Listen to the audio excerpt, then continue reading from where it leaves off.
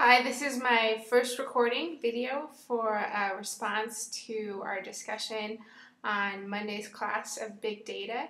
Um, I was really interested in uh, data visualization from the class, and afterwards um, I found someone that I followed on Pinterest um, had created a different data visualization um, than, it, than one he'd previously discovered.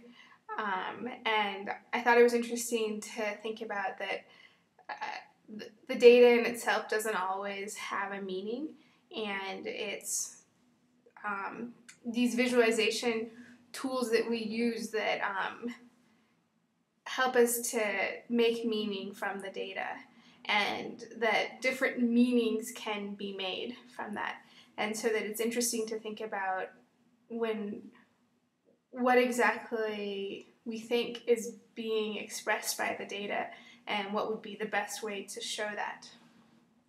Um, so he first located this interactive data visualization uh, that um, represents the drone strikes in Pakistan. Um, so here you can see it says um, 3,149 people in Pakistan from drone strikes, and less than 2% of those victims are high profile targets.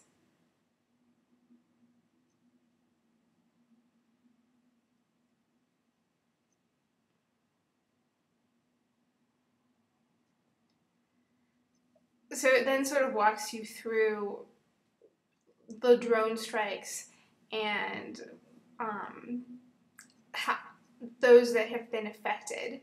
As you can see at the top of the screen, it says children, civilian, other, and then it's also going to have high profile. And so we'll see the first recorded drone strike here in 2004. So two children, five other,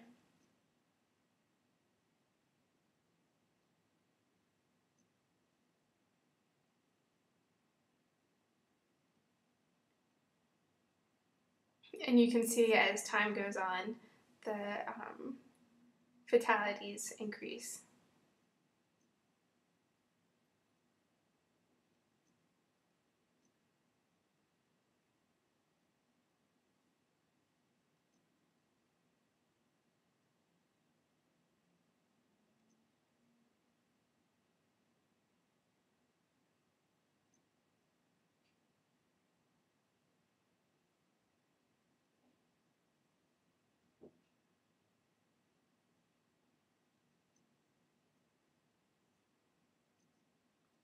So in 2008, uh, there's three high profile fatalities, uh, as opposed to 89 children, 64 civilian, and 84 other.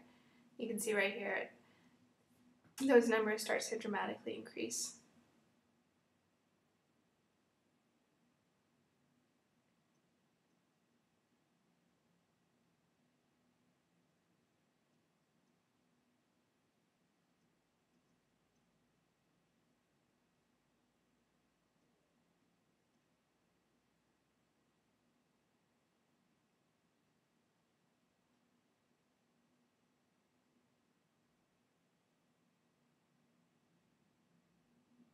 Below it, um, it each segment uh, is one fatality, and the color is uh, dependent upon um, whether or not it was a child, a civilian, or other.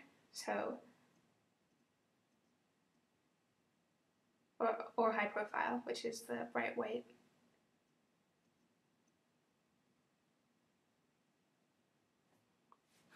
So in contrast, um,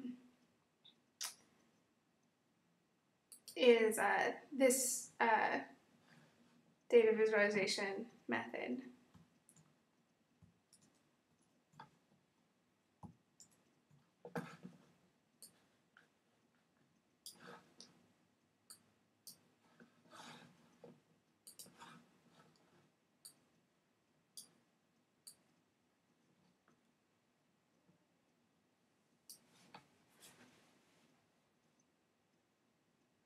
Um, so as opposed to the other ones, it's static.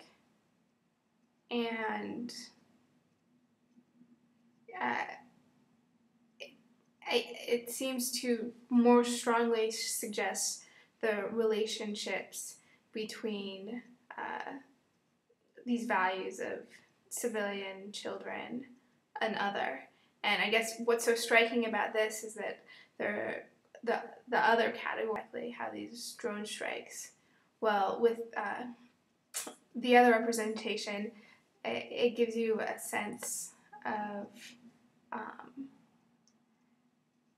the the history of these attacks, and it it makes it um, more than just numbers. It makes it as having a representation in that graph. Um, and so I think it's important to look at these as, different ways to represent data.